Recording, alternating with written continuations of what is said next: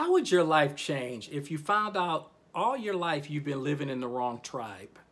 In other words, you found out you were a king, a queen, a champion. That's the topic we're going to cover here on Self-Love Monday. How you doing? This is Ron Simplified Myers, author of the book, The Relationship Success Handbook. Get rid of your problems, not your partner. Now, I remember I wrote a paper in high school. It was called Regaining Your Championship. And that's kind of what this topic is going to be about today. I use boxing, and I'm not, I don't watch boxing. I used to when I was younger, but now I stopped. And for my own personal reasons, I'm not into us watching us beat each other up. But uh, that's a whole nother topic. But anyway, but I'm using the analogy because it's very visual and it's easy for people to understand. But what I'm getting to is when we're all born, we are actually champions. There's a belt around our waist that says you are a champion. But through family, friends, workers, teachers, you guys know what I'm talking about, the media, goes on and on somewhere along that line, most of us lost that identity. We got hit. We got abused. We got stripped of our identity. And we actually started to buy into the fact that we weren't champions. What happens is people have different levels of pain in which they can take. As you know, there are some people that if they're in a ring, they need an official there because they will actually fight to the death you would actually have to kill them in the ring to actually get them to stop. But there are other people. You can swing. And the, and the force from the swing is so powerful that they're going they're gonna fall be like, oh no, I'm not getting ready to take that hit. Uh, kind of what I think a lot of people did against Mike Tyson. They they just to win, they was like, oh no, I'm done. I, I, I'm not getting ready to fight this. So what I'm saying is people have different levels of pain in which they can take. But when they get to that level, what happens is they run into the corner of the ring and they cover up. And the whole objective at that point is to not get hit again. The world wants to label people. We, we love putting labels on people, and that's really the stuff that I want to get us out of, is quitting tagging people we started to call them losers, quitters. They're, they're in their comfort zone. I keep asking the question, how is a person comfortable who's standing in the corner with their hands over their face trying to protect themselves to keep from getting hit again? That's not someone comfortable. That's not somebody taking the easy route. That's somebody who's going to suffer for a, for a long time until they recognize who they actually are. And so that's really what, again, this particular talk is about. It's about the, the fact that you are a champion. You were born a champion. And my, my goal is to get you to look around your waist and recognize that you are a champion. There's nothing you can't do. Do not allow the world, because that's what they've done. They've tried to program you into believing what you can and cannot do. It's time to quit listening to them. And it's time for you to look at the person in the mirror and say, all things are possible, and I'm here to make it happen. And then go out there and do it. Because the people that make things happen are the people who have been told the same things. They've been knocked down. They're the people that's in the fight that you'll have to end up killing. Now, I'm not saying that you have to get to those levels in order to accomplish your goals. But if that's what it takes, then let's do it. But what I want you to recognize is, is the fact that you are a champion. And the only reason that you're where you are, not because you're comfortable. Again, it's it's people don't get comfortable being uncomfortable. It's just everything in life we do for one or two reasons. Either to avoid pain or to gain pleasure. But sometimes you have two pains that will come up against each other just like you'll have two pleasures. But we do those things for one or two reasons. But when you have two pains next to each other, in other words, I can get out of the corner of the ring and fight, but I don't know what's going to happen when I step out there. I don't know who's standing. It might be Mike Tyson. So I might not want to step out there and take a chance on running into him. So I'm going to stay right here. And that's what people call a comfort zone.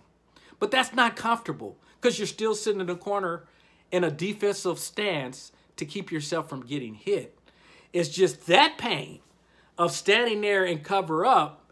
You feel a little safer and again, I guess that's what people want to call comfort zone, but you feel a little safer than going out there and getting hit in the street. You figure at least here, I can cover up, I can see what's coming at me, and I can try to defend myself. So my objective is to get to get you to put your hands down. Get your hands back into the fighting position. And let's go regain that championship because really that's the whole key. It doesn't matter what other people think. It doesn't matter what other people say. Now, if what they're saying is designed to move you forward in your life, then take all that information in and run it and run with it. But if what they're saying is designed to tear you down and to make you feel bad about yourself and to make you feel that you're not worthy and that you're not enough and you're not all the other negativity that people want to put out there, those are the things you let slide your slide down your back. You're only listening to the stuff that's going to move you. Now, with that said, there are some people that that does move them.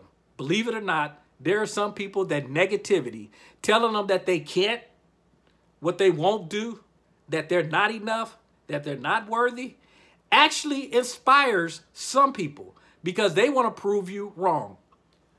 But as that old saying says, know thyself. Most people, I don't fit believe fit that category. Most people love praise, love to feel significant, love the hugs, love the encouragement. That's why if you're going to be a leader and a coach, to me, a leader and a coach understands it's not my job to say my way is the right way because it may not be. I have to be able to adjust depending on the situation.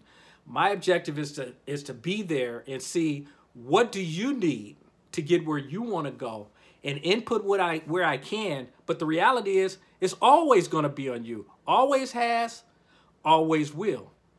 But what we have to work on is making you and getting you to the point where you believe in yourself and know beyond a shadow of a doubt I can achieve anything that I choose to.